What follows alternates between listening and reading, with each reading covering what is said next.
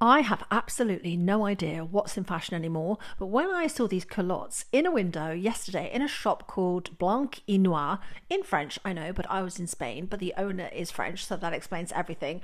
I just had to have them. It was the last pair in the shop. They were slightly too big, but they were coming home with me. Now, in Portuguese, trousers, or I don't know, culottes, whatever these are called, is calça. Now, I didn't know the Spanish word for trousers, but I tried the French word, I tried the Portuguese word, and she knew what I was talking about.